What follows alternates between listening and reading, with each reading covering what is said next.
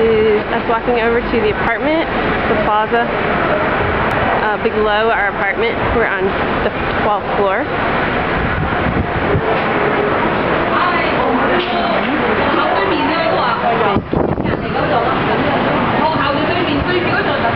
Sort of a mall below where we live. Oh,